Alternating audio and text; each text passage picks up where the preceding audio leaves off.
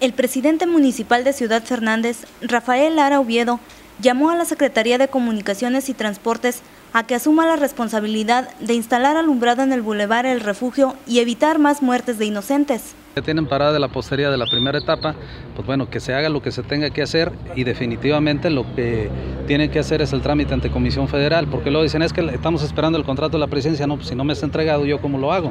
La presión de nosotros es cuántos muertos más necesitamos para que nos den solución a este problema. Y es responsabilidad también de la SCT de que ponga atención en el alumbrado del puente que está a oscuras. Esa es responsabilidad de ellos, pero pues nos quieren agarrar a nosotros contra la trinchera, que es el municipio, no, que asuma cada quien su responsabilidad, porque la que yo tenga, de esa manera la voy a tomar.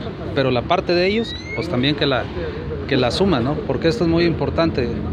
¿Cuántos muertitos más?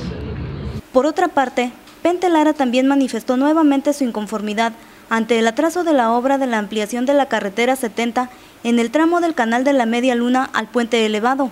Quería es que ustedes dieran eh, testimonio de que estos trabajos son 2013, los recursos no se han terminado de ejercer, los 2014 están pendientes y falta que vayan a premiar a la empresa de vuelta con los 2015 porque aquí creo que entre más mal se hacen los trabajos, más premios les dan dándoles más obra.